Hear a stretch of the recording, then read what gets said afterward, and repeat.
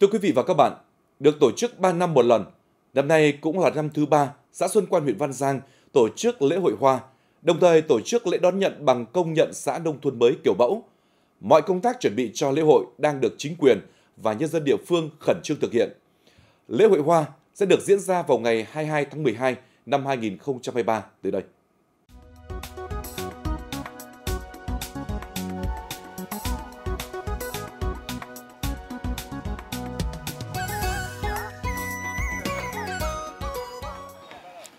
Thưa quý vị và các bạn, mặc dù thời tiết những ngày này khá là lạnh, tuy nhiên nơi tôi đứng đây đang thực sự ấm lên không chỉ bởi hàng trăm loài hoa rực rỡ đủ sắc màu mà còn là những công trình hoa kỳ vĩ, ấn tượng đang được những người thợ nơi đây khẩn trương hoàn thiện để phục vụ cho lễ hội hoa trong ít ngày tới. Điểm nhấn trong khu vực tổ chức lễ hội là tòa tháp hoa cao 13 m với chân tường tháp đường kính rộng 7 m, tọa lạc giữa lòng hồ rộng 2.000 m vuông hiện đang được triển khai thi công những phần cuối. Tháp hoa dự kiến sẽ được đặt 500 triệu hoa dạ yến thảo, một sản phẩm o cóp 3 sao của Hợp tác xã Hoa Xuân Quan với đủ sắc màu để trưng bày. Cái tháp hoa này chúng tôi đã chuẩn bị trước từ hàng tháng nay. Đến giờ phút này đã, đã hoàn tất, chỉ còn đặt hoa vào là xong. Khuôn viên trang trí hoa nằm ngoài hồ rộng 4.000 m2 được trang trí mang khuynh hướng thiên nhiên gần gũi và thân thiện như bản đồ Việt Nam, nhà hoa được người dân lựa chọn các loại hoa đẹp nhất để tạo hình. Nhiều chủ vườn cũng đã di chuyển cây trưng bày từ sớm.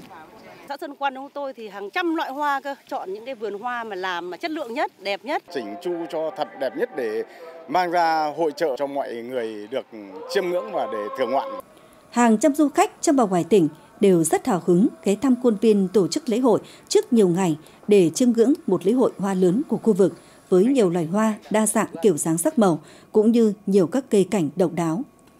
Không khí ở bên này là là đã thấy Tết rồi, đã thấy mùa xuân rồi. Đến cái ngày hội chính thì chắc chắn là tôi sẽ phải quay trở lại đây tiếp bởi vì là hoa ở Xuân Quan rất là đẹp. Mang một chút gì đấy của Xuân Quang lên Tây Bắc của bọn mình. Lễ hội sẽ được diễn ra từ ngày 2 tháng 12 năm 2023 đến ngày 1 tháng 1 năm 2024. Tại lễ hội sẽ có hàng trăm chủng loại hoa cây cảnh với các kiểu dáng thế khác nhau được trưng bày giới thiệu tại lễ hội, đều là các sản phẩm của chính những người nông dân làng hoa Xuân Quan trực tiếp sản xuất.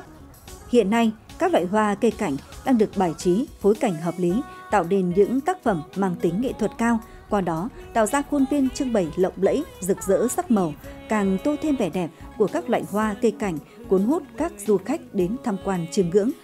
Đây cũng là sân chơi để các vùng sản xuất hoa lân cận đến giao lưu học hỏi, trao đổi kinh nghiệm và là nơi gặp gỡ để tìm kiếm bạn hàng tiêu thụ sản phẩm.